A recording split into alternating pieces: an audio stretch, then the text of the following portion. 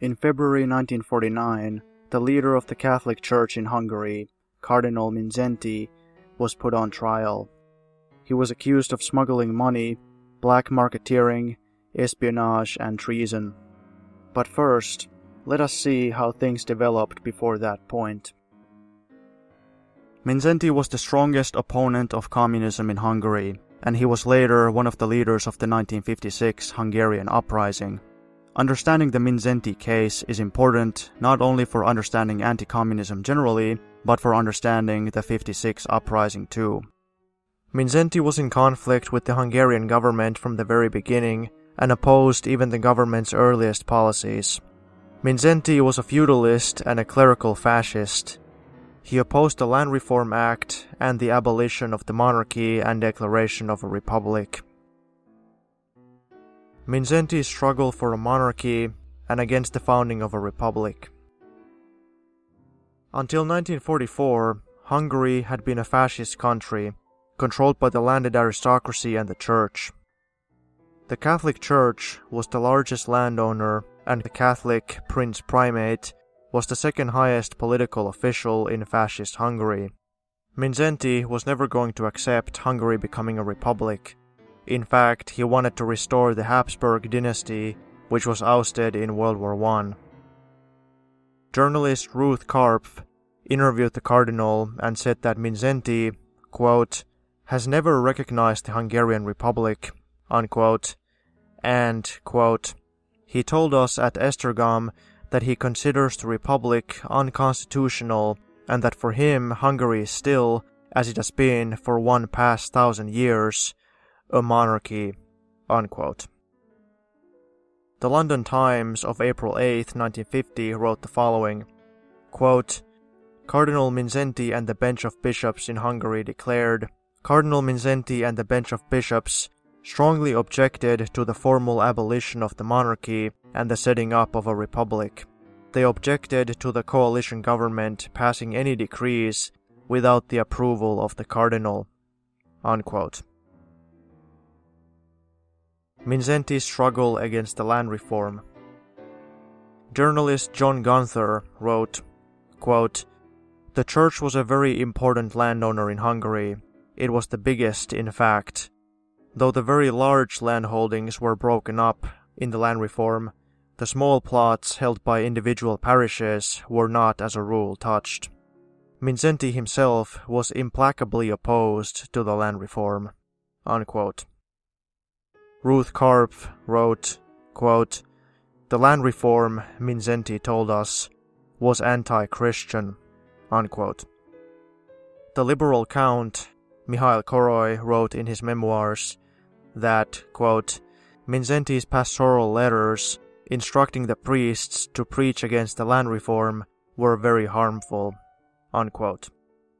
In a pastoral letter of May 24, 1945, Mindszenty said that the land reform, quote, was one most severely affecting the social structure of our country, unquote, and, quote, threatens the very existence of ecclesiastical institutions by depriving them of their material foundations. Unquote. Journalist Wilfred Burchett wrote, quote, Elections were to be held in November 1945, and on the last Sunday before polling day, Mindszenty let loose a pastoral letter, which partly in veiled terms, partly openly, attacked everything the coalition government had done. He attacked the institution of the Republic, attacked land reform, attacked the policy of punishment of war criminals. He launched a bitter attack on the laws which liberalized divorce procedure in the past, it had been virtually impossible to obtain a divorce at all in Hungary. It is our greatest sorrow and our most cruel wound, wrote the Cardinal in his election eve pastoral letter, that the provisional Hungarian government has loosened considerably the indissolubility of marriage. What can we expect of the democracy of those parties which, without authorization and competency, presume to interfere with so fundamental a pillar of healthy communal life. The whole letter was a direct church intervention in the election and aroused the hostility of all except the most bigoted Catholics, or those who expected their estates to be restored by the cardinal's Western allies. From that day on, despite repeated friendly overtures from the various governments, Mindszenty carried on a ceaseless war against the state. Unquote.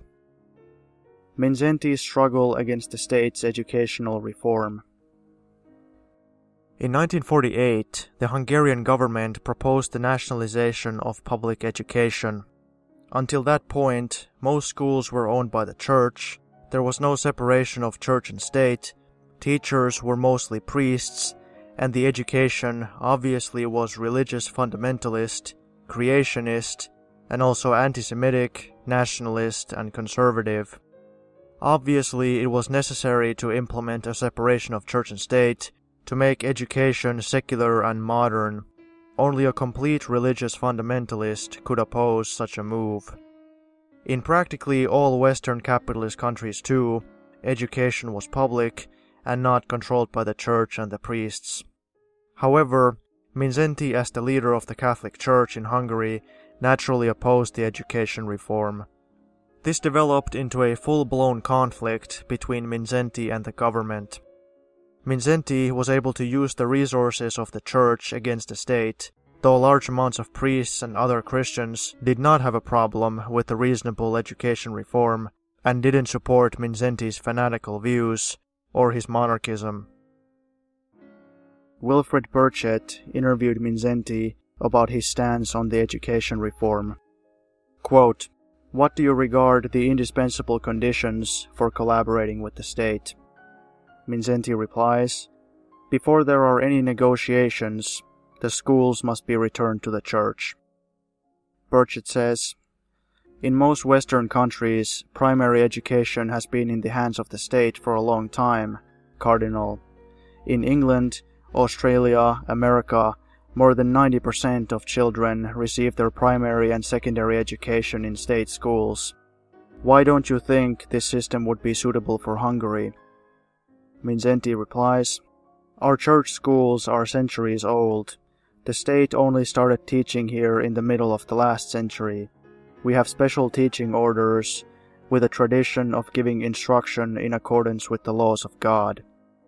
Burchett says, As far as I have understood the government decrees, I believe the government wanted the monks and nuns from the teaching orders to remain at their posts, to continue teaching, and it was you, Cardinal, who forbade them to do that. Mindszenty replies, It is impossible for Catholics to take part in teaching which is under the control of a materialist government. Better that the schools be closed and the children remain untaught. Unquote. Quote, the Christian Lutheran and Calvinist bishops did accept these conditions and did have their properties returned the government decree established the principle of state education and sanctioned the seizure of all church schools. The view taken was that people had paid in taxes many times over for the schools built by the churches with state money, but the government offered to return secondary schools. The church colleges, seminaries for training priests and pastors were not affected by the decree. There were three conditions attached to this return. 1 the Church recognized Hungary as a republic. 2. The Church recognized the fact of land reform. 3. The Church recognized the fact of nationalization of industry. Recognition of these three facts entailed naturally the obligation not to agitate against these reforms, none of which came into conflict with religious practice. Unquote. Quote, it was impossible for Mindszenty to accept the first condition, as at the time he was actively conspiring for the return of the Habsburg monarchy to Hungary.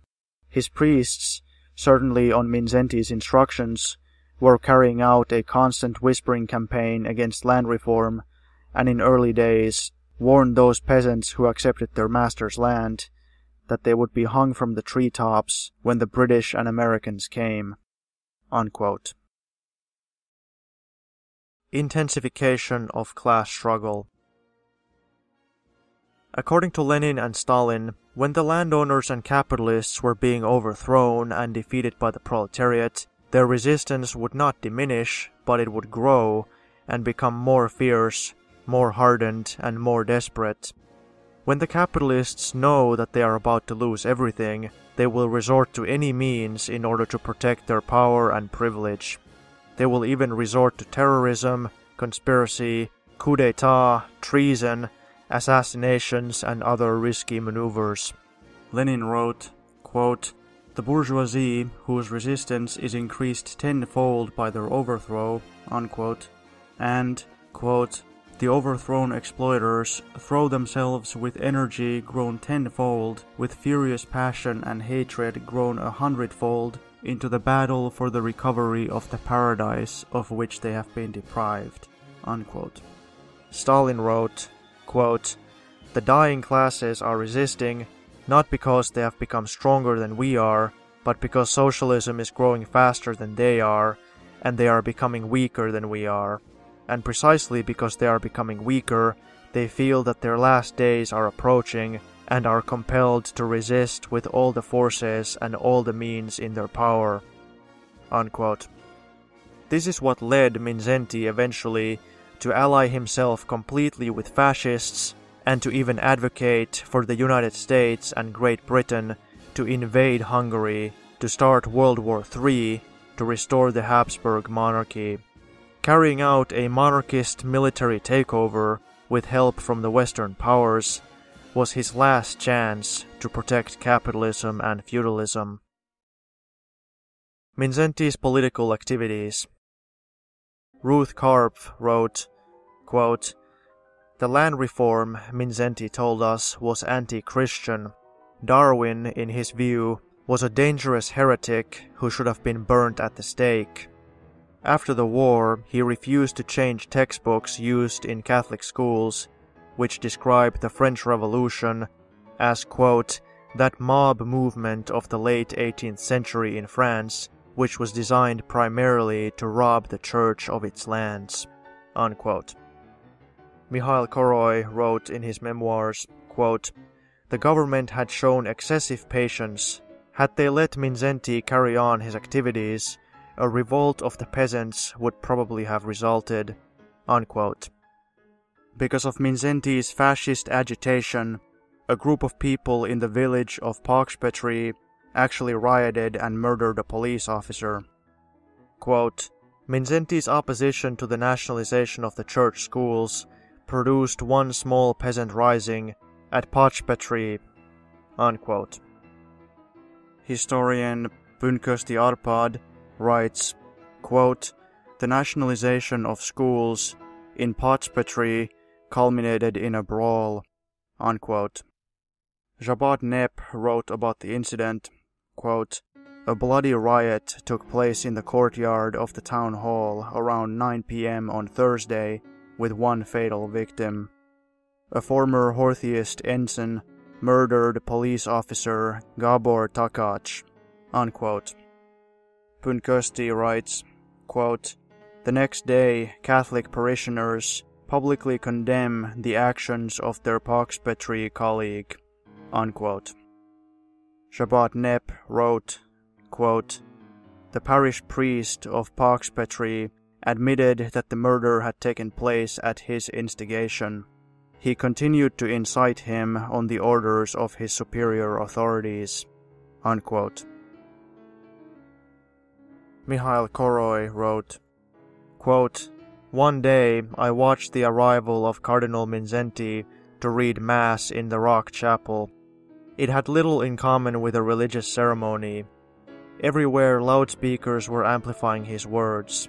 It was a political demonstration, much resembling an electioneering meeting. All those who were against the new regime had united in this demonstration. Unquote. Journalist R. H. Markham wrote from Budapest to the Christian Science Monitor, April 13, 1946, that conditions in Hungary, quote, are political clericalism, resurgent feudalism and exaggerated nationalism, anti Semitism and outright Nazism. There does exist an extreme clerical element centered around Cardinal Mindszenty, which wants to restore church lands and the old autocratic regime. Naturally, the great proprietors who lost their estates through Hungary's sweeping land reform cooperate in every way with the clerical opposition. Unquote. Historian Andrew Gyorgy writes, quote, Some of Cardinal Mindszenty's close followers recently submitted a plan which entails a four-power supervision of the Hungarian army and police force, which would mean that the United States, Great Britain and France would have to occupy Hungary the same way that they occupied Germany together with the Soviet Union. He continues, quote, followers also contend that a majority of the people would oppose communist control with force and that the recent ill-starred plots of smallholder leaders in 1947 were a mere foretaste of what might come. These members of the small Liberty Party and of the formerly dominant smallholders appealed to London and Washington in the hope of getting one last opportunity, unquote, to prevent socialism in Hungary. So they are quite blatantly asking for Western intervention and they are promising that the previous right wing conspiracies were a mere foretaste, and they are promising that if the West were to intervene, and if there was to be another right wing conspiracy, then the population would supposedly rise up against the leftist government and support the Western intervention and the right wing takeover. Mindszenty claimed that the Republic was illegal and that the monarchist clerical system should be restored. He wrote, quote, The continuity of constitutional right seems broken. When the calamity shall have passed, and the nation's sobriety shall have built a bridge to arch over the cataract, then by the right held sacred for over 900 years, the primate of this country, as pontifex and first peer of the realm, shall take his share in the restoration of our juridical and constitutional life. Unquote. He continues to say that the land reform, which took much of the church's land, is also illegal and that he doesn't accept it. Quote, I say this without mourning over the lost worldly riches, by which he means the lost church lands. He continues, yet without accepting as lawful actions which had no legal sanction. Unquote. Mindszenty's words about building a bridge, so called to arch over the cataract, inspired the creation of the newspaper Hídverők, or Bridge Builders, quote, set up by fascist and extreme right-wing emigres and former soldiers from Hungary in 1948 in the American zone of Germany. This journal consistently called for the restoration of the old regime and, in fierce terms, warned of a return to Hungary to wreak vengeance upon the so-called usurpers. For example, its issue of March 10, 1949, contained a poem by one Kalman Serto with this stanza Quote, When we go back to the last attack, with gnashing teeth, we won't even have mercy on infants when we go on our last attack. Unquote. So clearly, Mindszenty's supporters were absolutely charming, civilized, and peaceful people. Quote, his first pastoral letter as cardinal, issued October 18, 1945, just a few weeks prior to the general elections, excoriated the coalition government and denounced some of its proposals as deeply wounding the feelings of the Christian population, a remark whose anti-Semitic overtones, given Hungary's past, and the presence of some Jews among the governing coalition, were manifest. Unquote. Quote, On June 21, 1948, George W. Herold, a correspondent for the International News Service, talked to the primate about the school situation. The journalist told Mindszenty that Catholic schools in France do not receive state support. There is no church school in Sweden, and if there is, they would have to pay for it themselves. And the agreement with the Reformed and Lutheran churches leaves several church schools in Hungary. Mindszenty replied that he was not interested in what they were doing in other churches the Catholic Church was not bargaining. Unquote. Quote, Vilmos Böhm, a right-wing social democrat, dealt with Mindszenty a lot. He said, quote, He's a stubborn, warlike man who defends the supposed or actual interests of his church to the extreme, but often loses prestige due to a lack of political, diplomatic understanding and tact. He prefers to support all previous systems, Horthy or the Habsburgs, rather than democracy. He was opposed not only to the communists, but to all democratic factors. His way of acting was completely incomprehensible and unwise. It can only be explained by his fanatical insistence on medieval feudal prerogatives, without any political or diplomatic sense. Unquote. A journalist of the New Statesman and Nation also interviewed Cardinal Mindszenty in 1948 and wrote that, quote, he, the cardinal, wanted Western intervention, hated all socialist doctrine, and advocated a peasant society ruled by the Catholic hierarchy. I was impressed by his reckless courage and asked him if he wanted me to report what he said. He hesitated, but said that he would rather I did not. Unquote. In the town of Tisza the reactionary priests stole a Jesus statue from a church, intending to blame the theft on the communists.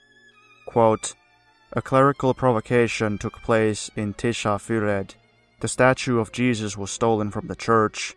The statue was found by a fence and taken back to the church. Unquote. During the election of 1949, when all the leftist parties campaigned together as the People's Front, the reactionary priests claimed quote, There will be three days of darkness, like in the Bible story, during which the Americans will occupy the country.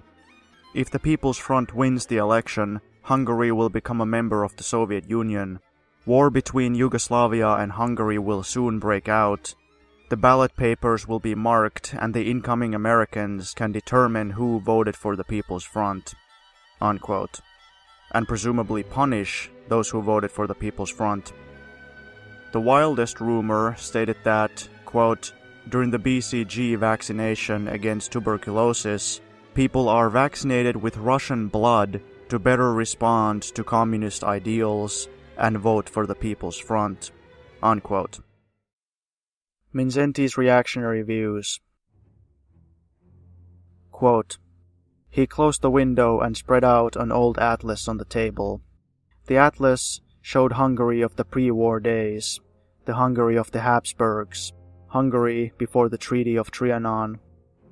When he spoke of Bratislava, he gave it its ancient Hungarian name of Pozsony. For 200 years, capital of Hungary and now part of Czechoslovakia, he said. That should be the role of you journalists today, he continued, tracing with his finger the old frontiers of Hungary the bits that had been clipped off after the First World War, the changes since the last war. Hungary was a bastion against Slavdom, a bulwark against communism. She should have remained that way, and what have you done? You have split her up among the Slavs and installed a communist government. Vojvodina to the Yugoslavs, Slovakia to the Czechs, Transylvania to the Romanians, an anti-Christian and godless government installed in Budapest. Instead of keeping us as a bastion against the Slavs, you have made us a Slav spearhead of communism. You have allowed the most cultured nation in Central Europe to be split up amongst barbarians. Was it not England herself that agreed at Munich to Hungary regaining her lost lands in Czechoslovakia? Unquote. I had to interrupt the Cardinal for long enough to point out, firstly, that people in England blush when they hear the Munich Agreement mentioned these days.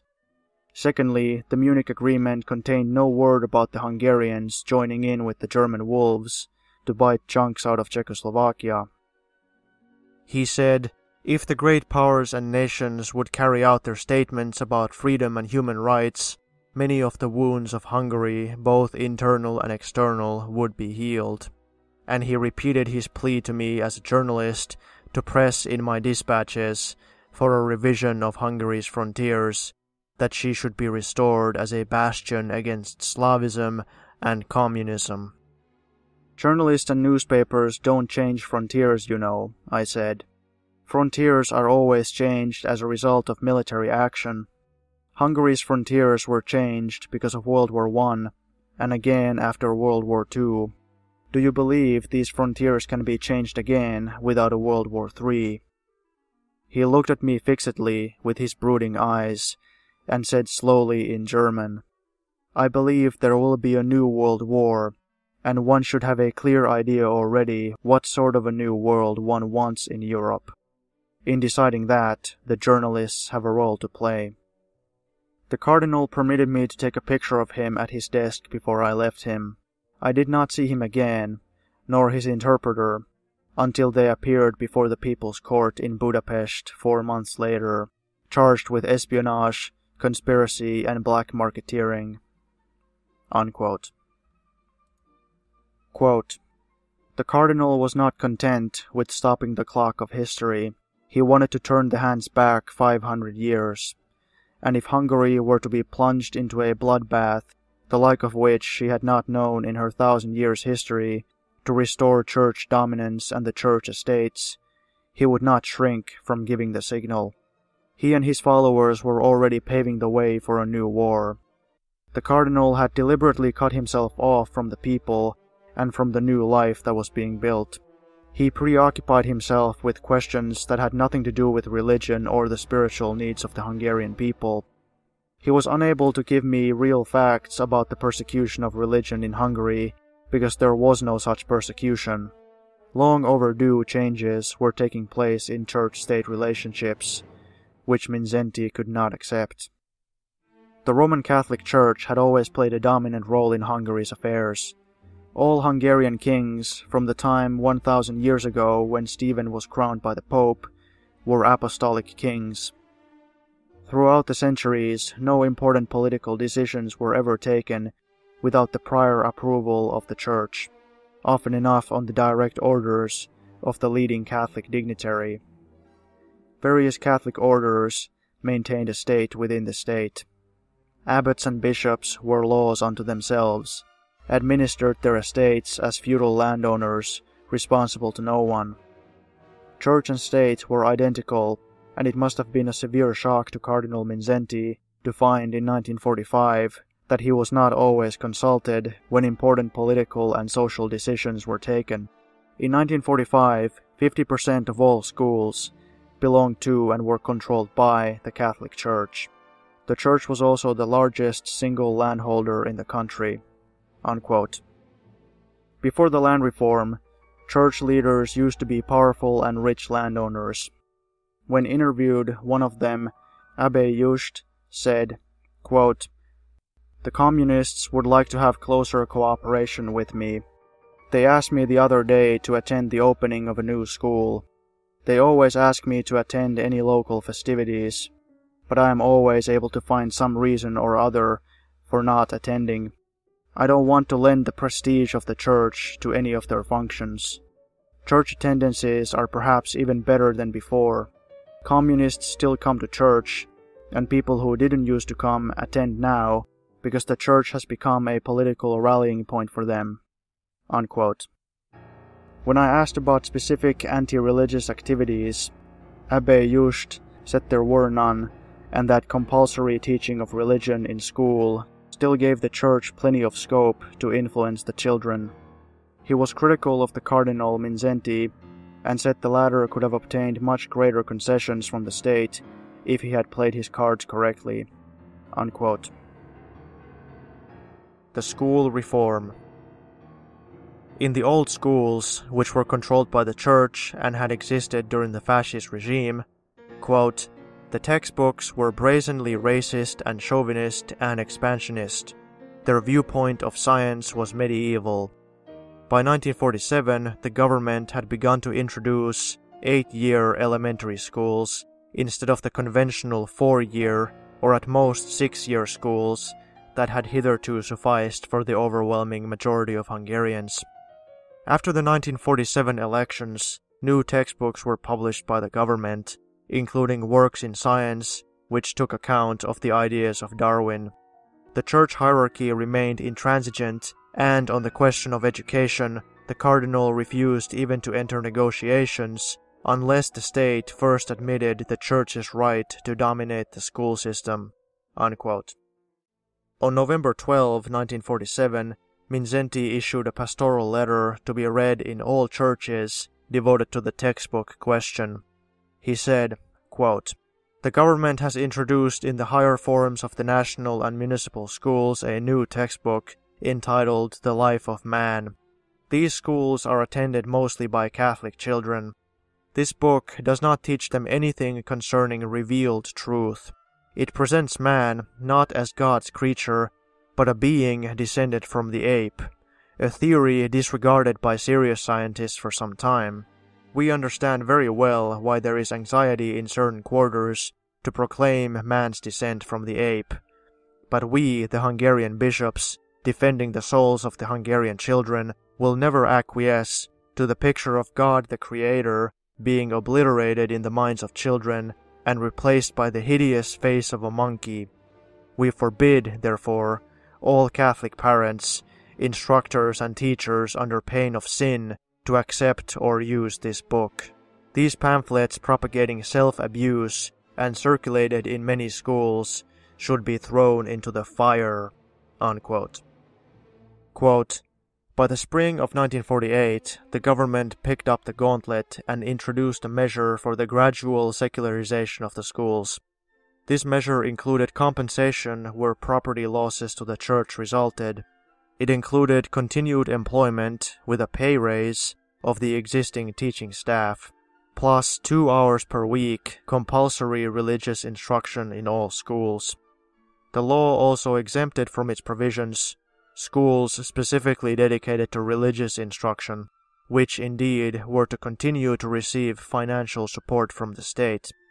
This bill was approved by the Hungarian parliament on June 15, 1948, by a vote of 293 to 63, with 71 abstentions and absences. Unquote. In another pastoral letter, Cardinal Mindszenty said, quote, to the bitter disgrace of this country, falsehood, deceit, and terror were never greater in the country. Unquote.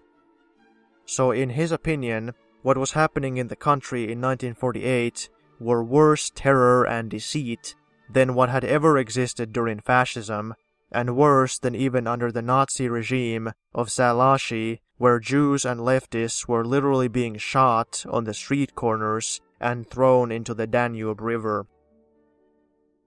Pro Mindszenty historian Kertész writes the following quote, The Catholic episcopate refused to negotiate on the questions connected with nationalization, unquote, but, quote, Calvinists were of a different opinion. In accepting a compromise solution negotiated with the government, they could keep some of their schools, after the School Nationalization Act was passed on June 16, 1948, the Cardinal announced the excommunication of every Catholic deputy who voted for the bill. Unquote. Mindszenty told journalist Ruth Karpf that, quote, You understand, of course, that the Church can never and never will give up the natural right of the parents to educate the youth for God. What I mean is, that we will fight this law with every weapon at our disposal. Unquote. However, he changed his tune when it became clear that parents also supported the school reform. Mindszenty said in a pastoral letter, quote, It is not a question of the parents' volition whether or not the children are to receive religious instruction, since this would be a violation of God's right to the soul of the child and the child's right to a knowledge of the eternal truths. Unquote. Quote, Mindszenty excommunicated all Catholic members of parliament who voted for the educational reform law. In July, he ordered all Catholic schools, 65% of all Hungarian schools, closed. In August, he prohibited ordained teachers from continuing their work in public schools. In September, he officially threatened to excommunicate any Catholic who criticized either his policies or his person. Unquote. The reality is that many Catholic people and even many priests were angry at Mindszenty's extremism, and Mindszenty had to threaten to excommunicate them from the Catholic Church to keep them under his control. Most politicians, including the non-communists, also did not support Mindszenty. He could only rely on the most right wing and on the support from Western governments. Quote, on November 11, 1948, a Lutheran priest revealed espionage committed by the church. Unquote. Communist leader Matyas Rákosi said that, quote, care must be taken to separate the Catholic Democrats from Mindszenty. Unquote. Quote, the priests and parishioners of Chanad demand the departure of Mindszenty and stated that the cardinal was the main obstacle to peace. Unquote. On December 27, 1948, quote, rallies were held in Nyíregyháza against Mindszenty. Unquote. Earlier, a popular Catholic daily paper, Magyar Nemzet, had charged that, quote, through this terrible inflexibility of his over the school issue, Mindszenty not only infringes upon the rights of Catholic parents, but injures even the fundamental interests of the Church. Unquote. The Trial Quote, Here in the People's Court in Marco Street in Budapest, there was a minimum of ceremony and no trappings at all. Except for the uniformed guards, only four people were not in civil dress, and they were the cardinal, his secretary, Dr. Zakar, Dr. Baranyi, and Dr. Bela Ispanki. They all wore priestly dress, and the cardinal his ruby cardinal's ring. The prisoners sat on a long bench opposite the panel of five judges, first the cardinal, next to him Dr. Baranyi, Prince Paul, tall, languid, fair mustache and the long hooked nose and blue eyes, which are the distinguishing marks of the Esterhazy family. Unquote. Quote, Mindszenty and Esterhazy represented the most powerful forces in Central Europe for centuries. After the church, Esterhazy was the greatest landowner in Hungary. The church and the aristocracy were brought to bay before a people's court. Sitting alongside the one professional judge, Vilmos Olti, were representatives of the political parties and trade unions, all in ordinary civilian clothes. Between the accused and their judges, on the right sat the counsels for the defense. The cardinal looked physically just as he did when I interviewed him four months previously, but there was a change. Some of the arrogance was missing. To understand Cardinal Mindszenty's behavior in the court, one must delve a little into his personal background and into the functions of a cardinal in Hungary. For a thousand years, a cardinal held the next highest rank to a king. The kings of Hungary, from the year 1000, when Stephen was crowned by Pope Sylvester, were always crowned by the cardinal with the holy crown of Saint Stephen. Unquote. Reverend Nicholas Boer, a supporter of Mindszenty, states, quote, The primate is the premier prince of Hungary. He ranks immediately after the king as head of state. He is the sole person entitled to crown a king and thereby is in immediate relationship with the Holy Crown of Hungary. The principle of the Holy Crown of Hungary declares that in Hungary the source of all rights is the Holy Crown, which unites the whole country, people, and soil in a mystical body. The Holy Crown consists of two parts the head, that is, the king, and the members. Up to 1848, only the nobility was included in the latter. Since 1848, it is the whole nation. Unquote. The bourgeois revolution of 1848 under Kossuth which failed to overthrow the monarchy and feudalism, but led to some reforms, quote, was always severely condemned by Cardinal Mindszenty. Unquote. Quote, Mindszenty, or Joseph Pehm, which is his real name, was a Swabian of German origin. Until 1944, he was an ordinary priest, and his parish was part of Prince Paul Esterhazy's estates.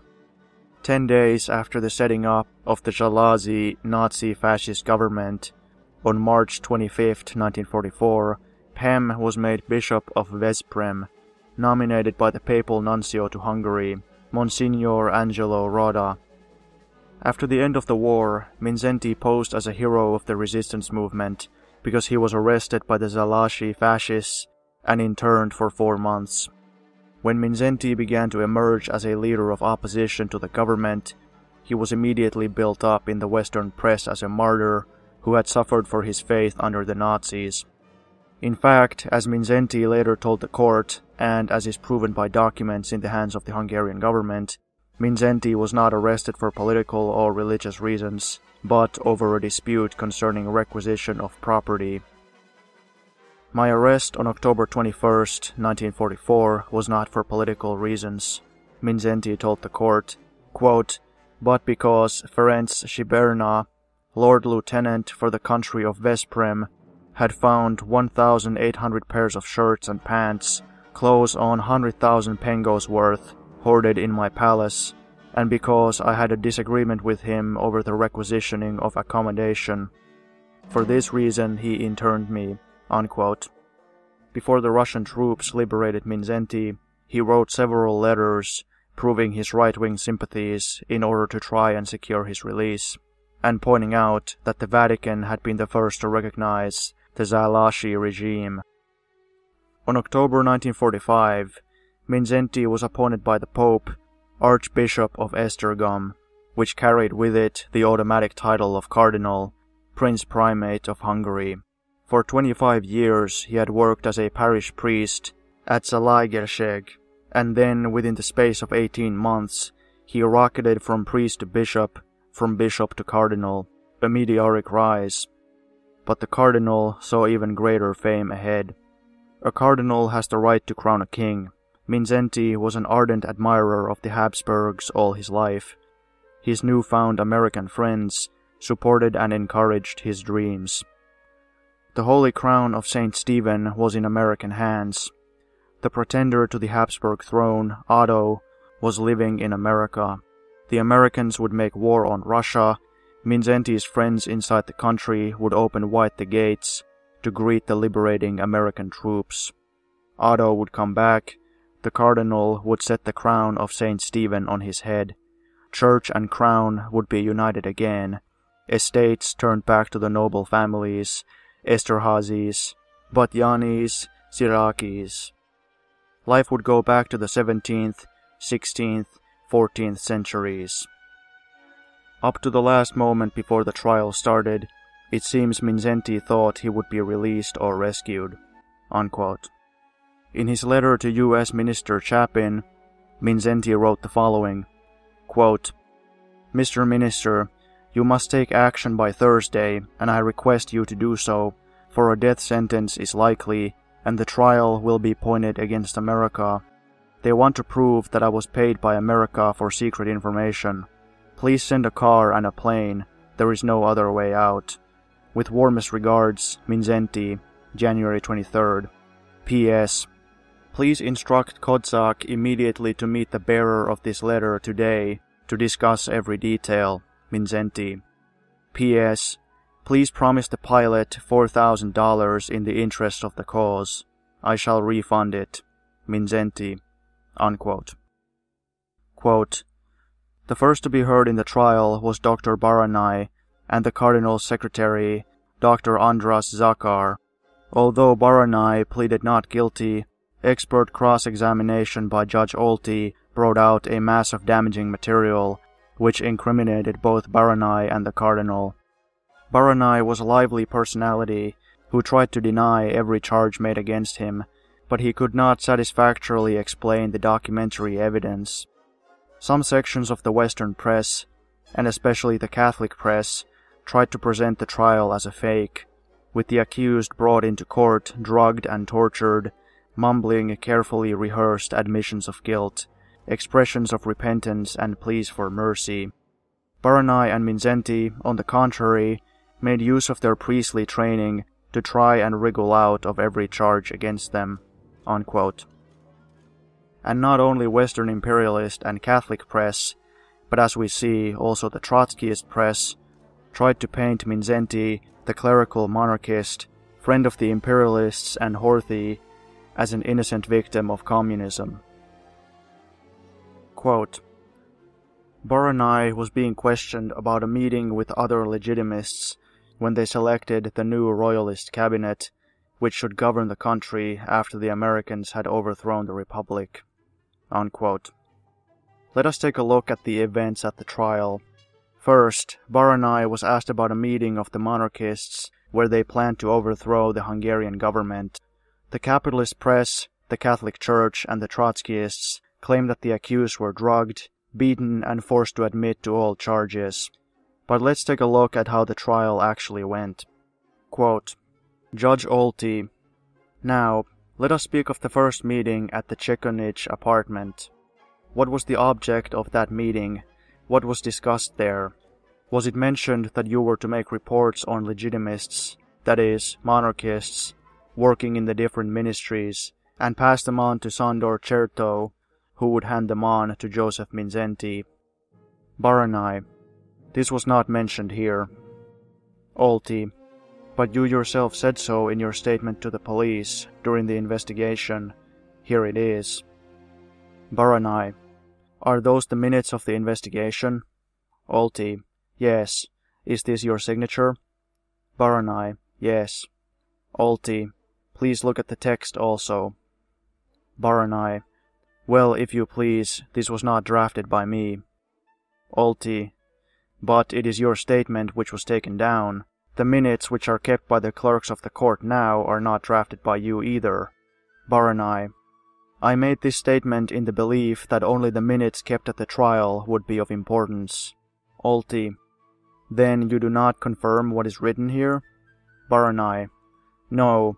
I was late at the meeting because of official duties. Unquote. Instead of simply admitting to everything, Baranyi denies the accusation. Then he says he thought his testimony to the police would not be important, so he didn't care about the details being correct. Then he says he cannot confirm what happened at the monarchist meeting because he was late. He then gets into a political discussion with the judge. Quote, Olti, now in the spring of 1945 you prepared a plan in case the democratic state were overthrown here and a vacuum would have to be filled. Your plan named the persons who were to take power and how they were to do it. Is that correct? Baranyi, please permit me to go back a little in time. The possibilities of solving the present world conditions, as everybody knows and sees that these conditions cannot last. Olti, now what exactly do you mean by this? That different forms of state are evolving?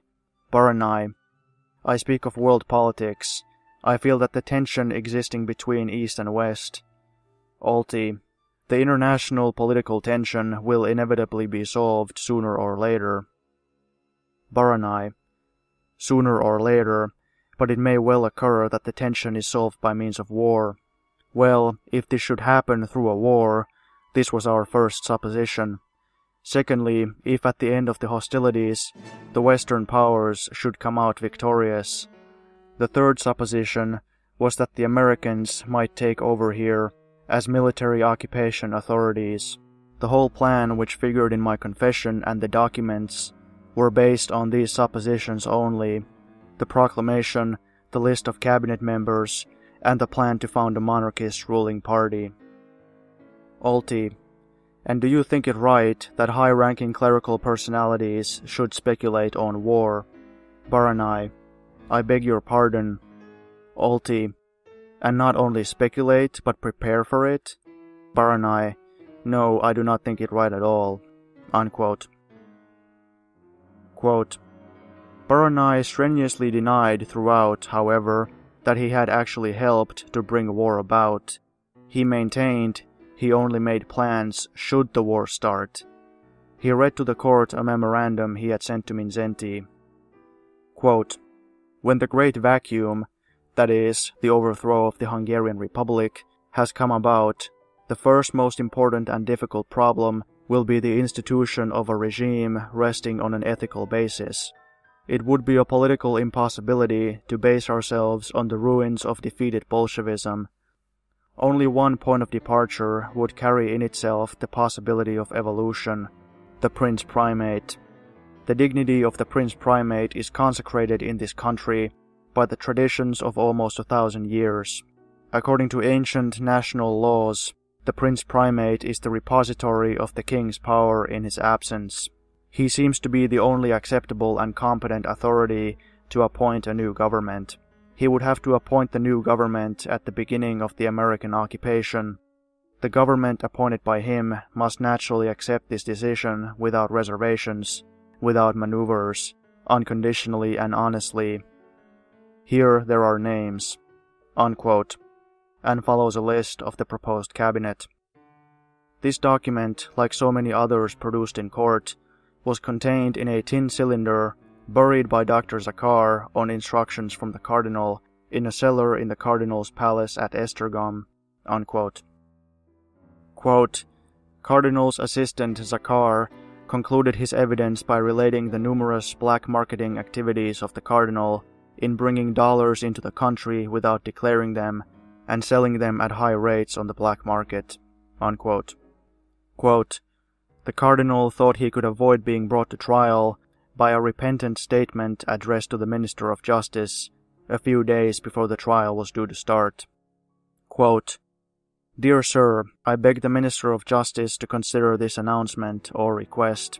For some time, publicly and repeatedly, there had been raised against me the complaint that I stand in the way of an agreement between state and church, and that my attitude is hostile to the present order of the state. Now I want to contribute to an improvement in the general situation.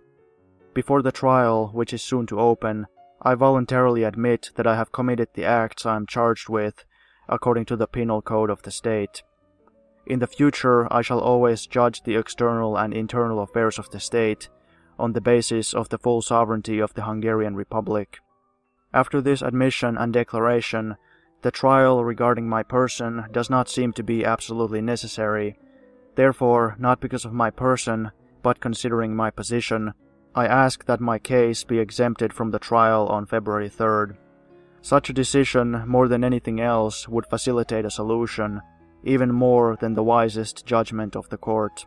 Please accept my sincere respect. Joseph Mindszenty, Cardinal. Unquote. Quote, the court decided, however, after a short recess, that the cardinal would stand trial with the rest of the accused.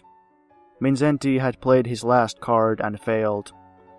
He tried to make the best of a bad job, however, in court, by evasions and half replies, by an amazingly poor memory when it served his purpose. Asked whether he pleaded guilty or not guilty, he answered in low, measured tones, quote, to the extent that I did commit a considerable part of the activities charged to me in the indictment, or as I indicated in my letter to the Minister of Justice, which you kindly read out this morning, substantially to that I feel guilty. Of course, this does not mean that I accept the conclusion of the indictment. For example, with regard to the offenses mentioned in Section A, I do not deny one or another part of it, but I do not subscribe to the conclusion. Unquote. From this we can clearly see that Mindszenty was not tortured into admitting fake charges. In fact, he admitted as little as possible, and always tried to deny his guilt. However, the evidence was blatantly obvious. He had engaged in black market activities, smuggled dollars into the country. This could not be denied. Before the currency reform implemented by the communists, Hungary had had the worst inflation in world history. This was solved by abandoning the old currency, the pengo, and switching to a new currency, the forint. It took billions of pengos to buy a loaf of bread, so bringing thousands of dollars into the country actually would have had a devastating effect on the pengo. Of course, one individual wouldn't be able to destroy or save the economy, but it would cause as much damage as any individual could cause. The sums of money Mindszenty dealt with were large. Quote, Altogether, about $97,000 were handled in the Cardinal's black market deals. Unquote. Mindszenty said about the black marketeering, quote, I realize the mistakes. Unquote. Quote, I take the blame for what happened. I have written to the People's Court concerning the paying back. I shall repay it as far as I am able. Unquote. Mindszenty said he quote unquote realized the mistake, but of course it wasn't a mistake, but deliberate. To cover up his tracks, he informed the state bank of part of the money he received, but hid the vast majority. Quote, On one occasion, he registered $800 out of the $15,000. On another occasion, he declared 4,000 out of 19,000, so there was no doubt that he knew the regulations regarding the declaration of foreign currencies. Unquote. It was also blatantly obvious that Mindszenty had been a firm monarchist his whole life and had opposed every progressive and democratic reform. Even capitalist historians don't deny this. Quote, Mindszenty, born Joseph Pehm of German stock, was a narrow nationalist and conservative, but of fierce conviction. Unquote. The second charge was conspiring with the Americans. Nobody denies this charge anymore. They merely imply that the Americans were the good guys, so Mindszenty was correct in plotting with them. Mindszenty himself admitted this too. Quote, Mindszenty confirmed having sent an appeal to British and Americans to send military forces into Hungary in 1946. In all these cases, the documentary evidence was overwhelming. Unquote. Quote, I request the help of America to put an end to the tremendous oppression and decay here, so that the unfortunate Hungarian people can be preserved for Western civilization. A solution is possible with outside help. Unquote. Cardinal Mindszenty. The third charge was planning for the overthrow of the Hungarian government and trying to restore the Habsburg monarchy with the help of American invasion troops. Mindszenty said, quote, I do not deny one or another part of it, but I do not subscribe to the conclusion. Unquote. What does he mean by not accepting the conclusion? They rationalized their actions. According to Baranyi, they had a plan to establish a monarchy after the Hungarian government was overthrown, probably by invading Americans, and there was a quote unquote power vacuum. However, he claimed that they were not trying to cause a war, only preparing for war. Mindszenty also denied having any leading role in this. Of course, he would be the second most powerful in the country. The only man above him would have been King Otto of Habsburg. But it is possible that Mindszenty didn't consider himself the leader of the invasion or the leader of a rebellion. He was more of a figurehead. Regarding his meeting with Otto Habsburg in America, Mindszenty said, quote, Olti, did you inform Otto of the situation, the activities and strength of the Hungarian monarchists? Mindszenty, I spoke of that. At this meeting I spoke of that.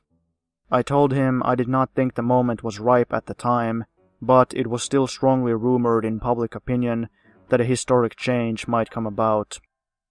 Olti, a third world war? Mindszenty, a third world war. That is what they were discussing. Olti, you were thinking of a third world war, so you could establish a system of government here which would suit you. Mindszenty, I beg your pardon, Mr. President, I was not working for a third world war. Olti, but, if you please, was there any step taken for the lessening of international tension? Mindszenty, we always prayed for peace. Unquote. Finally, Mindszenty was accused of anti Semitism, which he admitted. Again, this was not surprising at all, since anti Semitism was the norm among Hungarian conservatives and was part of the dominant ideology in Hungary before socialism.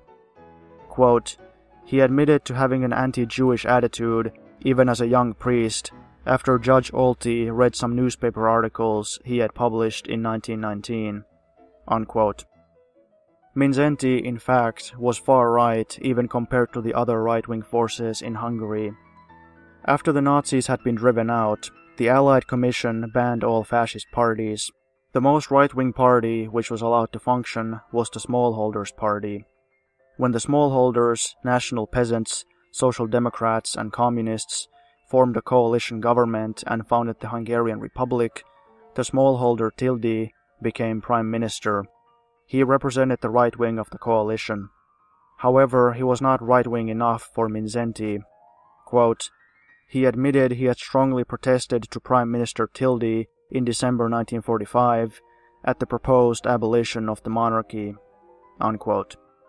This admission might not seem like much, But considering Mindszenty was accused of wanting to overthrow the Republic and restore monarchy, it is significant.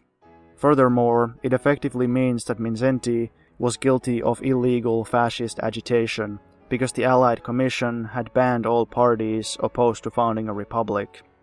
Quote, Mindszenty was determined from the first to last to give nothing away that the state prosecutor did not know. He always waited with his replies for the judge to put his cards on the table. There was at no time anything like the blind confession as suggested by Cardinal Spellman and sections of the Western press. When he made admissions, they were only when he was confronted by overwhelming evidence. Otherwise, he said he couldn't remember. For example, Olti, did you know of a memorandum prepared by Baranyi for the American government to be signed by four persons, in which the restoration of the Habsburgs was advocated? Mindszenty, I know of a memorandum, but I don't know who signed it. Olti, and yet you sent a special message to Baranyi insisting that Baron Ullman should sign it as a fourth signatory. Mindszenty, yes, that is so. Olti. In fact, such a memorandum was drawn up. Did you discuss it with Baranyi, and what did it contain? Mindszenty, after a short pause. I don't remember its contents anymore. Unquote. Quote, he tried to hedge also on the question of the Holy Crown, which was taken to Germany by the retreating fascist forces of Szálasi. Mindszenty was counting on placing the crown on the head of Otto Habsburg, and he wanted to keep it in a safe place till the time arrived. Judge Olti produced a letter, however, from Mindszenty to the U.S. Minister Selden Chapin, and the latter's original reply, asking that the crown should not be returned to Hungary but to Rome. Quote, since the cause is a very important one for our nation, and since demands for its return and military advances might be fatal for the crown, only Rome could reassure us. Unquote. Mindszenty needed this crown because he believed that when monarchy was restored, he needed to place it on the head of Otto Habsburg. Hence, he wanted it to be delivered to the Vatican and not to the Hungarian government. Of course, this crown was the property of Hungary, and by having it delivered to the Vatican, he committed a crime. It is significant that Mindszenty said, quote, military advances might be fatal for the crown. Unquote. He believed that a new world war would soon come to Hungary and the crown might be destroyed, so it had to be kept safe in the Vatican. The new war, obviously, could only be the American invasion. Whether such an invasion was a realistic possibility, Mindszenty at least believed in it. Quote, Mindszenty's naive belief in the imminent advance of the US military forces into Hungary was reflected again in that letter. In any case, he had no business to go over the head of the Hungarian government in the matter of this very valuable and historic relic of the Hungarian people, but in the court, Mindszenty would not admit that he had committed an illegal act. Olti. It shows that this was an illegal method and illegal activity against the state, wasn't it? Mindszenty, I am sorry that I did not think at that time to turn to the government for help. Unquote. He claims he merely accidentally didn't turn to the government regarding the crown. He was either lying and using stupidity as a shield, or he still considered himself as Cardinal Prince Primate to be above the government of the Republic. Indeed, if Hungary still was a monarchy like under Horthy, he would have been above the government. Quote, on the question of having prepared regular reports for the US legation and even requests for US intervention in Hungarian affairs, Mindszenty asked to be permitted to make a statement. Quote, As announced before, I accept the evidence before the court and regret having dispatched these documents. The primary aim of these letters was not to expose faults or to do harm. My intention was to help, but I chose the wrong way to do the right thing. At any rate, it would have been better not to have dispatched these letters. I regret having sent them, and in the future I shall never depart from my basic principle, pointed out in my letter to the Minister of Justice, to observe the external and internal policy of the Hungarian state in the light of its complete sovereignty. Please accept this statement. Olti, We shall put it on the record and shall consider its value. Unquote. Mindszenty, who had always been a hardline enemy of the Republic, who had never agreed to collaborate or compromise, was now finally offering a compromise solution. For years, he had always said that it was anti Christian to collaborate with this new government, but now his power was seriously threatened, and he still tried to cling to it. So he offered, if they didn't prosecute him, he agreed to collaborate with the government, to stop using the church as a weapon against the government, and bring peace between the church and the secular state. He had already made this proposal right before the trial, but as we shall see later, this was purely an opportunistic move. Mindszenty never really changed his mind. He was always a hardline reactionary. If he was now offering a compromise, it was only strategic. If he was ever given half a chance, he would conspire against the government again. If he was ever given power again, he would use it for his reactionary purposes. Let us take a look at another interesting point at the trial, when Mindszenty was asked about his plans to leave the country. Quote, Olti, and what sort of statement did American Minister Chapin make? Mindszenty, he brought up the proposal that I should go abroad. Olti, and he would help you in this? Mindszenty, it seemed that he would not refuse to. Olti, do not give such diplomatic answers, but answer straightforwardly. Did he offer that in case you decided to take this step he would help you, or did he say that he would not help you? Mindszenty. is it absolutely necessary that I give an answer? Olti. no, you don't have to answer a single question. Court procedure permits you not answering, but perhaps you are taking away from yourself a point of defense, something that it is my duty to call to your attention. But at the inquiry before the prosecutor, you did answer this question. Mindszenty. Yes. Olti. Do you wish to answer this? Mindszenty. Yes. Olti. Then please go ahead. Did he offer to help you get out of the country? Mindszenty. He did offer, not that he would get me out, but that he would help me. Olti. That he would help you in getting abroad? Mindszenty. Yes. Olti. And what did you answer to this? Mindszenty. I said to this, Olti. Please speak louder. Mindszenty, That I would remain at home. Olti. After this, did you not consider flight at all? Mindszenty, Please, Your Honor, permit me to not answer. Olti. As you wish. You are not obliged to answer. Unquote. We can see the answer to this question in the secret message that Mindszenty had tried to send to US Minister Chapin, in which he asked for America to help him escape. He wrote, quote, They want to prove that I was paid by America for secret information. Please send a car and a plane. There is no other way out. With warmest regards, Mindszenty, January 23rd. Unquote. Quote, Mindszenty was questioned for five hours by Judge Olti he was repeatedly asked if he was tired, if he would like a break, but always answered that he felt fit. Unquote.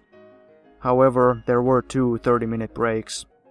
Though he denied some of the charges, he was found guilty of delivering espionage reports to the Americans, of requesting military intervention by the Americans, trying to organize the overthrowing of the Republic and restore the Habsburg monarchy, of preventing the return of the crown of St. Stephen to the Hungarian government, and of black market activity.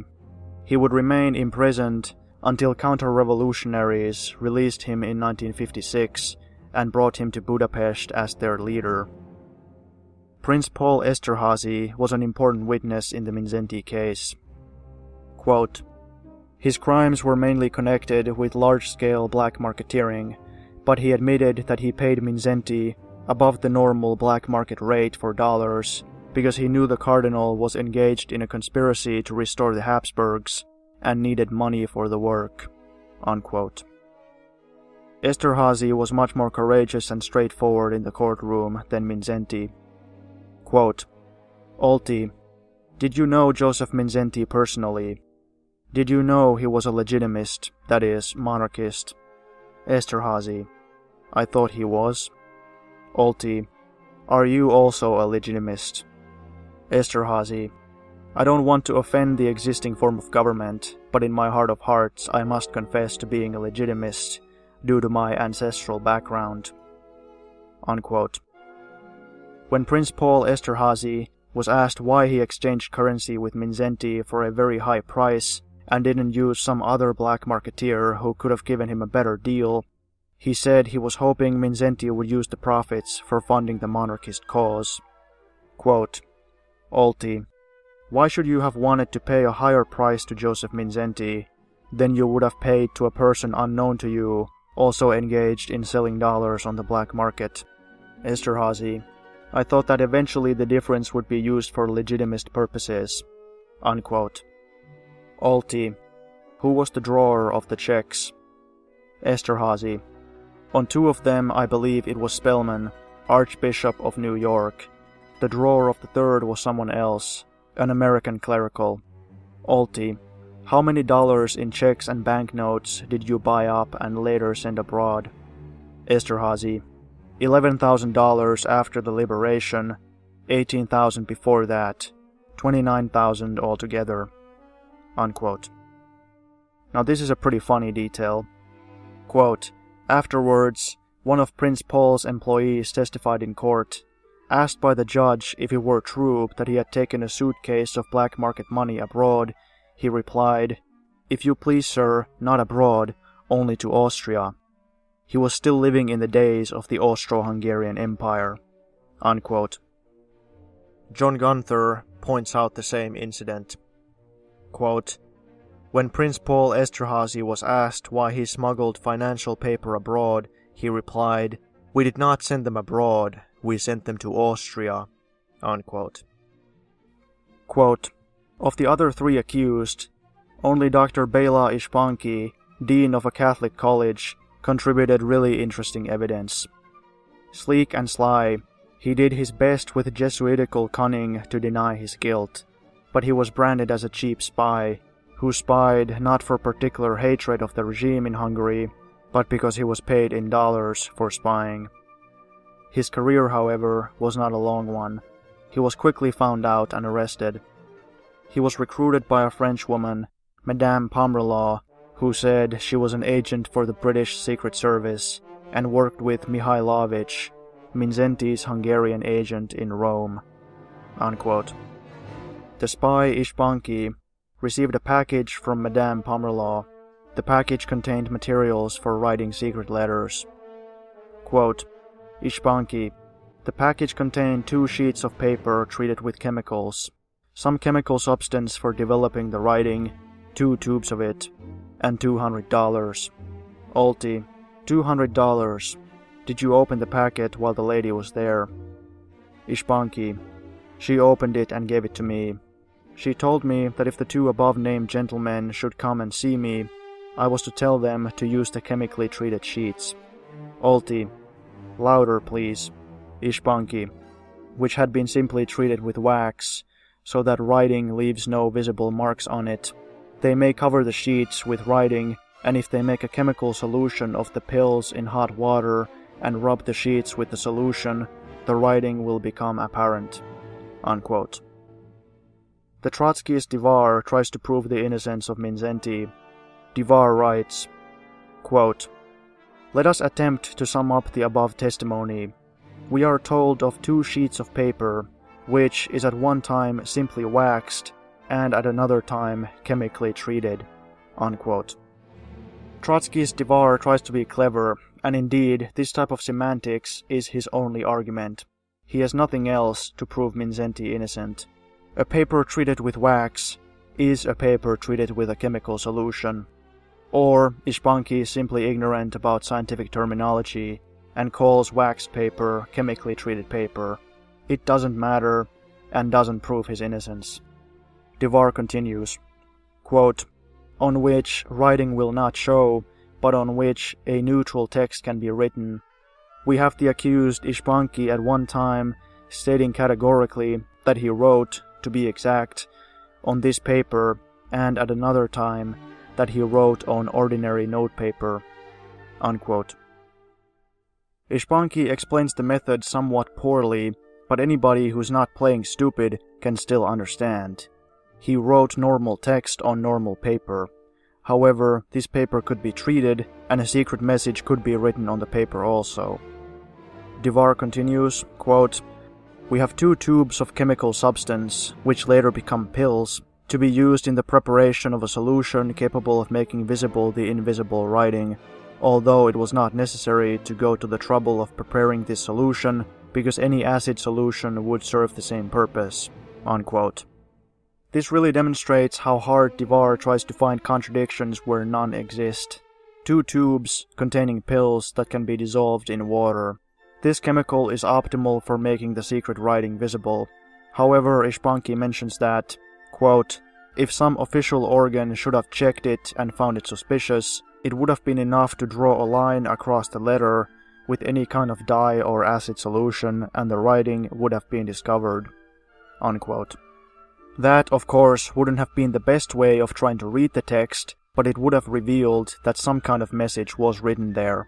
Devar continues, quote, And finally, we have the espionage reports simply typed, and then again, they are not typed, but written in invisible ink.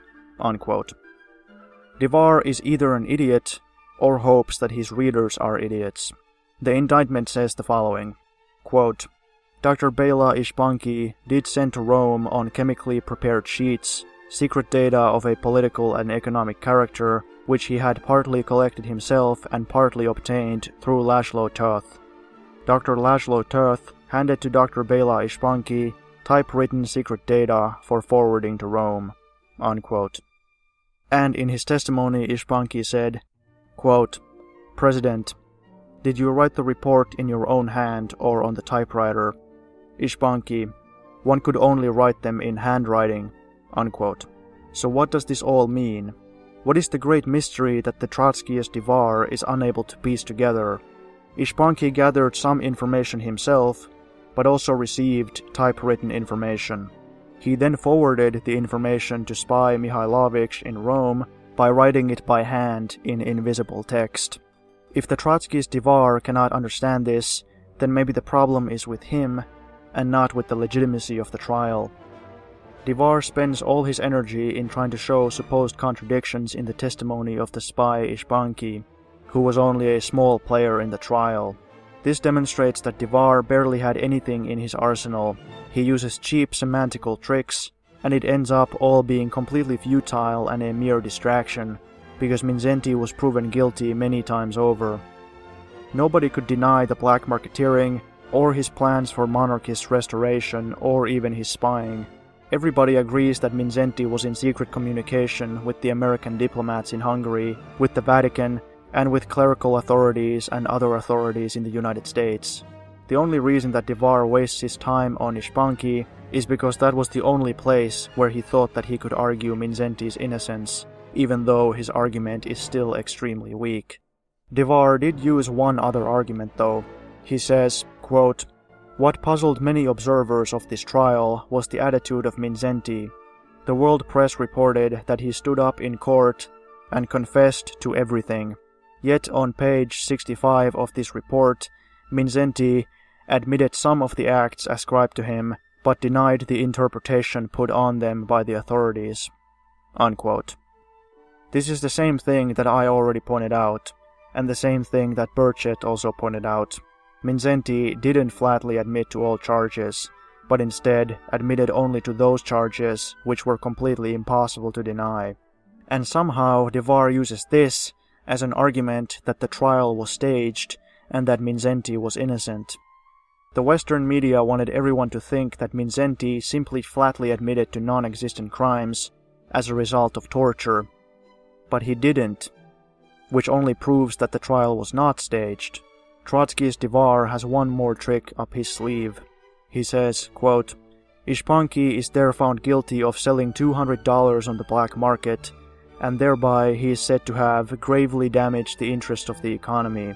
This is a rather small sum to gravely damage the economy of the country, but according to Decree 8400 of the 1946 Article 20, Paragraph 2, the penalty shall be death if the act has gravely damaged the interest involved in the stability of the Hungarian forint. The same penalty applies under Article 17 of this decree. It is therefore clear why the words gravely damaged are employed in the indictment, even although the sum is so small. Unquote. Now, this is quite something. Divar implies that Ishbanki was given the death sentence for an allegedly small crime. However, that is not true at all. None of the people were given death sentences, but only prison sentences and some loss of property. Esterhazy and Mindszenty, as the main culprits, got a life sentence, that is, 15 years, while the lesser criminals got a few years only. Second of all, Ishpanki was not convicted of damaging the Hungarian currency at all. Divar must have been reading the trial transcript wrong, or he is simply just lying.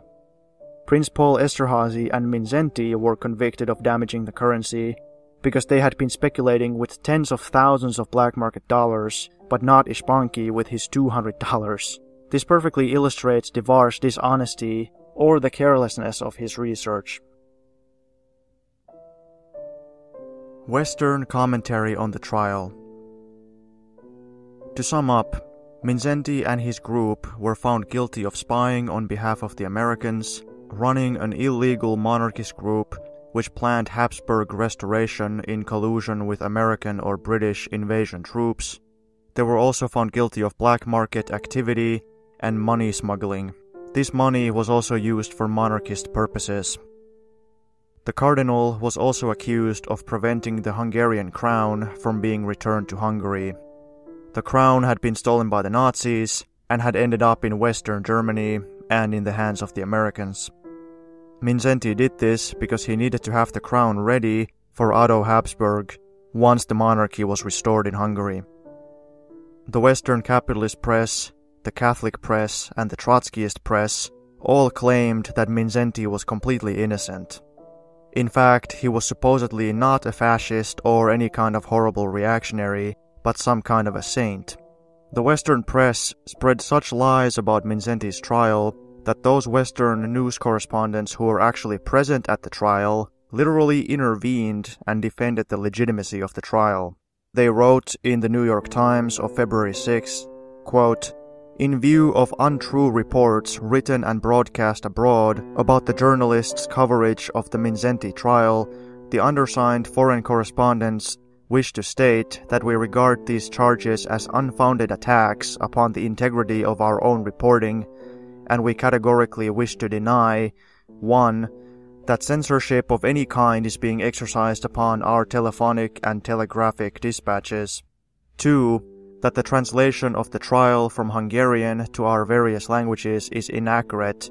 The fact is that the majority of correspondents either speak Hungarian themselves or are accompanied by their personal interpreters, and there have been no complaint or indications that the official interpreters who are provided in addition are guilty of any kind of sly distortion. And lastly, they deny that, quote, that the only correspondents granted visas or admitted to the courtroom are communists or communist sympathizers. Unquote. Even Mindszenty's biographer admits that, quote, the credible charges were that the cardinal, faithful to his monarchist convictions, had suggested the crown of Saint Stephen should not be returned to Hungarian soil, Perhaps he had also fervently hoped that the Western nations would agree to no peace treaty which left Hungary under communist control.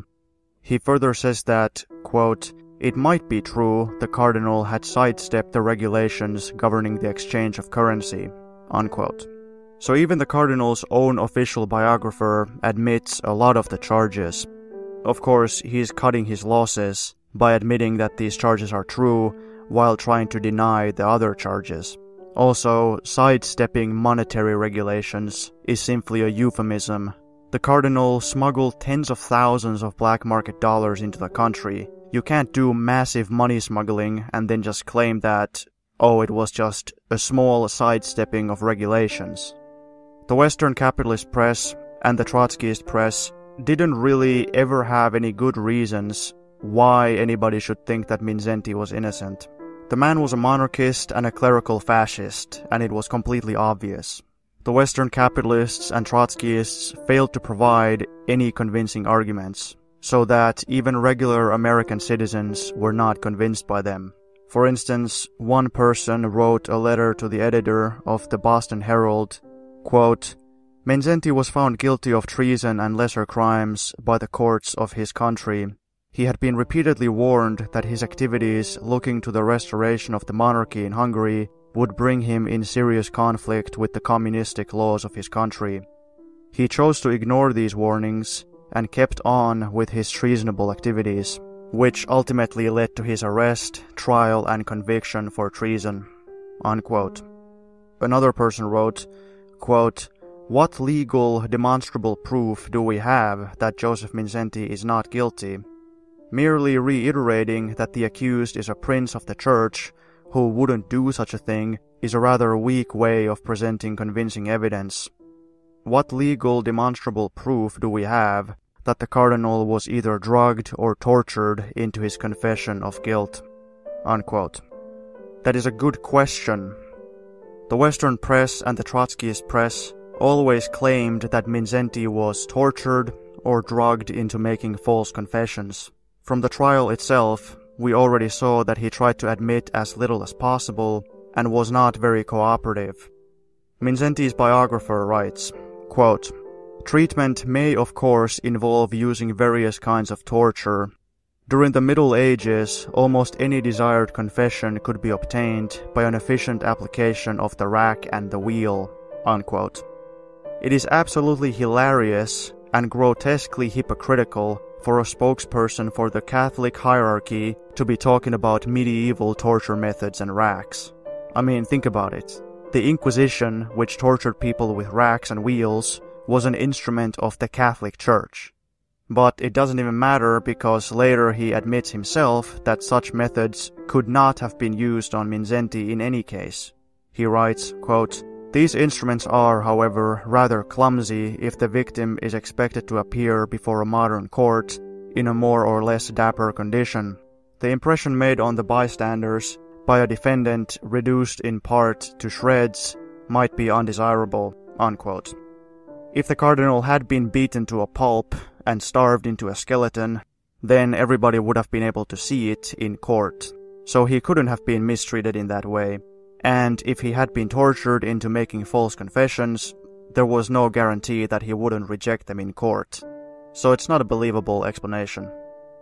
Economist Doreen Warriner writes, quote, In the Western press, the trial was reported as an attack on religion, and Mindszenty as a martyr who confessed under the influence of drugs.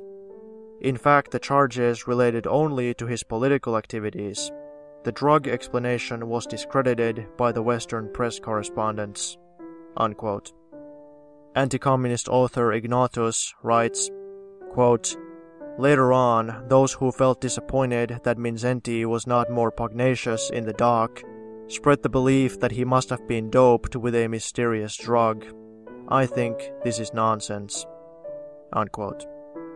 John Gunther wrote, quote, It is almost inconceivable that a man like Mindszenty could have been drugged or tortured to the precise point where the communists themselves, in open court, would be safe either of the risk that physical or psychological signs of maltreatment would be easily apparent in the cardinal to all observers, or that he might recant the recantation.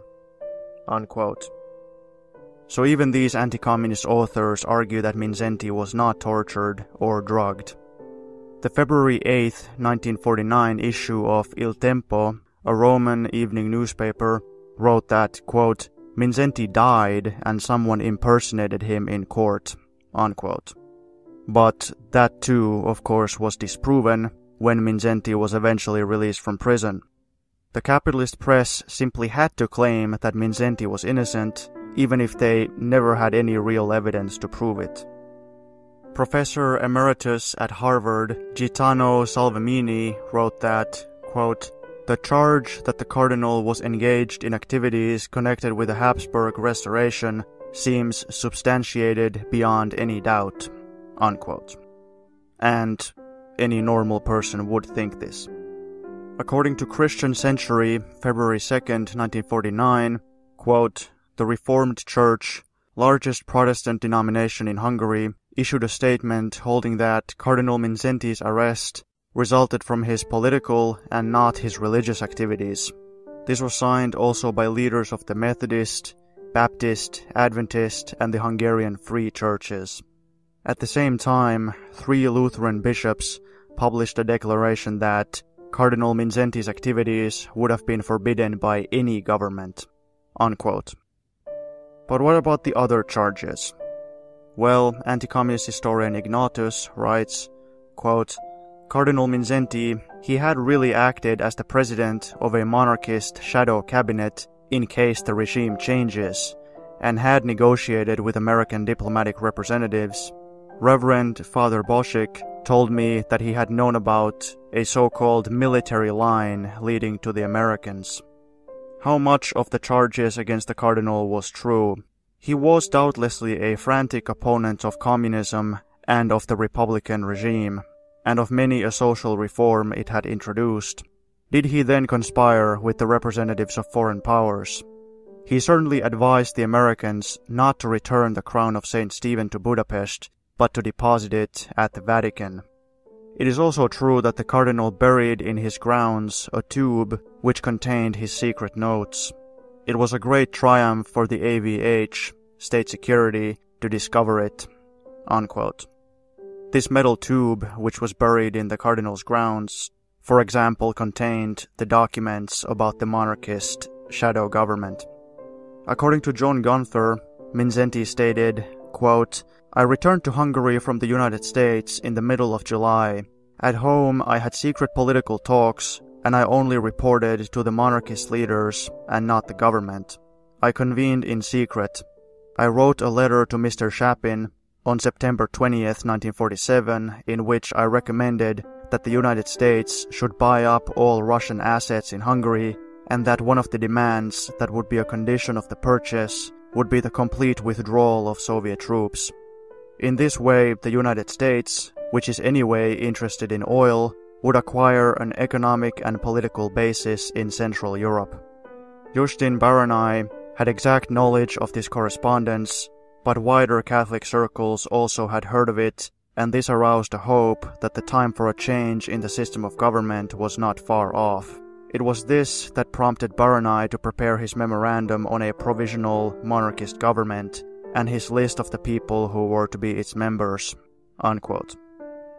According to historian Pünkösti, US diplomat Arthur Schoenfeld wrote that Mindszenty's political activity, quote, is based on the conviction that war will break out in the near future between the Soviet Union and the Western powers, unquote, and that Mindszenty's assistant, Dr. Zakar, told the police that, quote, Mindszenty asked US diplomat Schoenfeld for American occupying troops to come to Hungary to Mindszenty's question, US Ambassador Chapin replied that it was possible for a war to break out soon.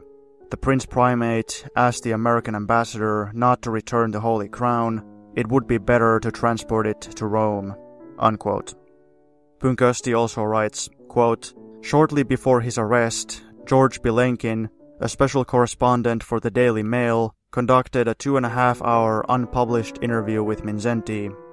Quote, the Cardinal had urged an immediate invasion by British and American troops.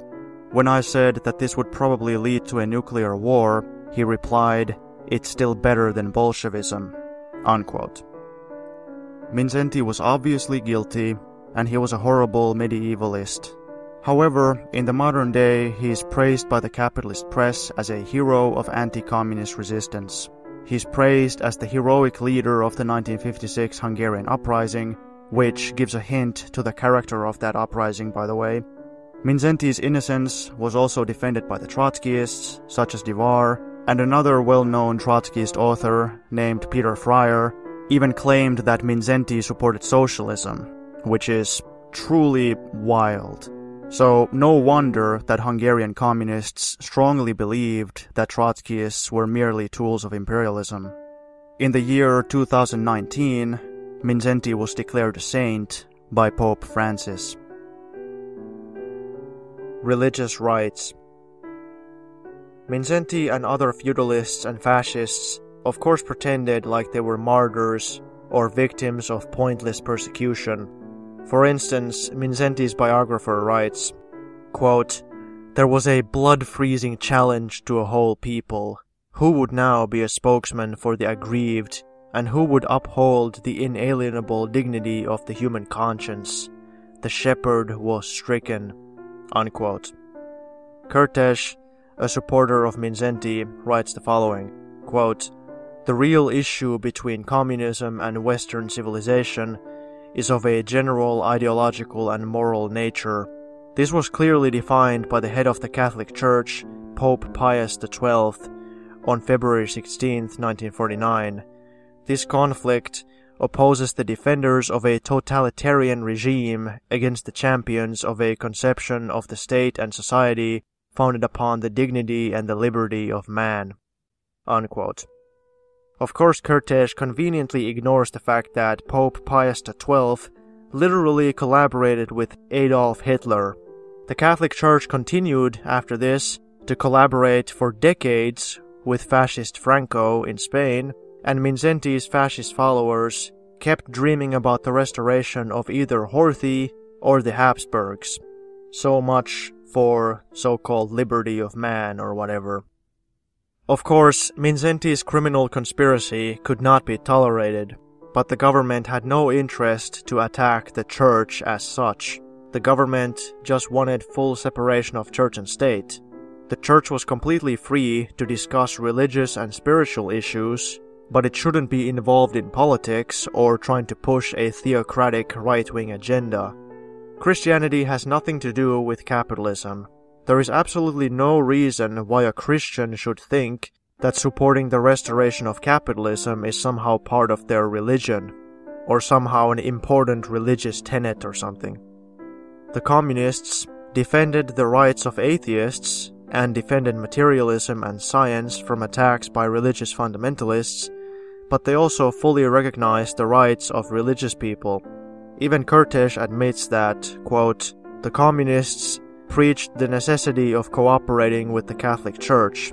In some villages, communist local organizations were eager to help in rebuilding the churches destroyed by the war. Unquote. And Burchett says the same. He says, quote, Communist led brigades helped repair scores of village churches and in several cases completely rebuilt them. Unquote. Quote, the church was left with more privileges in Hungary than it enjoyed in most Western countries. After the land reform, bishoprics were still left with 300 acres, abbeys with 100, and rural parishes were allotted between 15 and 30 acres. The state, even after the predominantly communist regime was elected in 1947, still offered to subsidize the church, but with decreasing payments for 20 years, by which time the church was supposed to make itself self supporting, as it is in most countries. The Protestant churches gladly accepted this arrangement.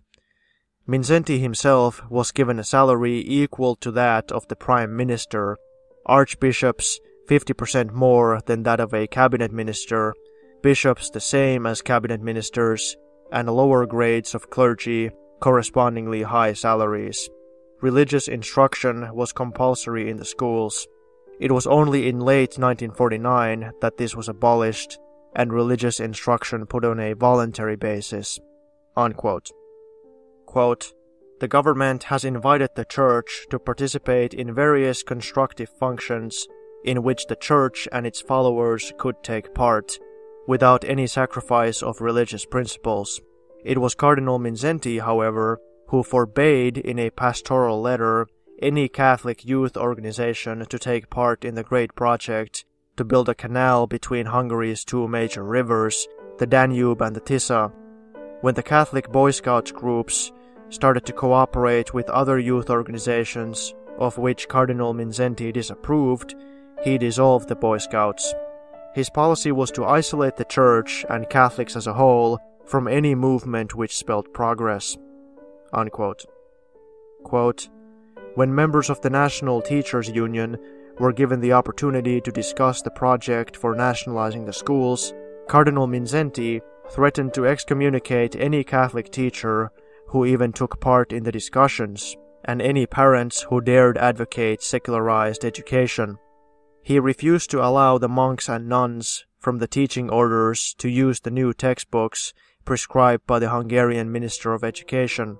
Priests who opposed his wishes were excommunicated. The churches gradually became centers of political intrigue and propaganda rather than places of worship. Peasants and workers were taught that the new, the brighter life they were living was sinful. For the peasants, it was a mortal sin that they had laid hands on the property of the former landowners. The workers were told obliquely that they sinned in working at the benches of factories whose owners had been expropriated. The parish priests told them privately that they would soon be punished when the British and Americans came. In the background, the cardinal was quietly intriguing. He became a willing tool of the Americans, who would not have hesitated to brush him and his hero, Otto of Habsburg, aside as soon as they had played their roles. The cardinal's hopes and plans were laid bare in the trial, which completely discredited Mindszenty in Hungary. Unquote. John Gunther writes, quote, not all Catholics, it should be pointed out, necessarily adopted the Mindszenty point of view. For instance, several Catholic groups still cooperate with the government, and one very eminent Catholic, Archbishop Gyula Czapik of Eger, refused to permit Mindszenty's pastoral letters to be read in his diocese. Unquote. Even Mindszenty's biographer, admitted that the church could still keep its religious academies for teaching priests, etc. Quote, the former Central Seminary of Budapest is now known as the Theological Academy. A seminary at Nyíregyháza trains priests for the Greek Uniate churches. These institutions were relatively free to follow the traditional course of study. No effort was made to impose books prepared by the government. Unquote. Texts were, quote, imported from abroad through the cooperation of a central agency in Rome. In addition, subscriptions to the most important periodicals in Catholic theology and allied fields were provided so that seminarians are kept in constant touch with the best thinking and writing being done in other lands. Tens of thousands of Bibles were likewise sent without incident. Unquote though he noted that there has been considerable tension and conflict after the Vatican in 1955 condemned all those priests who collaborated with the Hungarian government. The New York Herald Tribune wrote, quote, Everywhere we found freedom to worship. In Poland and Hungary, religious instruction by priests is still compulsory in state schools. Nowhere has there been an official attempt to prevent people from worshipping as they please. Unquote. John Gunther writes, quote, and it is certainly a fact that the churches are open and crowded everywhere. Unquote. In fact, religious education was not made voluntary until 1949. Before that, it was still mandatory for everybody. While Mindszenty advocated Western intervention, even if it caused World War III, the progressive clergy in Hungary supported peace and opposed imperialist wars. Lutheran Bishop Laszlo Dezsery criticized Mindszenty and said, quote, that the Hungarian people's democracy will come to an ever deeper understanding with Christians of the Lutheran Church. Unquote. Lutheran Bishop Lajos Veto bitterly attacked Mindszenty and approved of the five-year plan.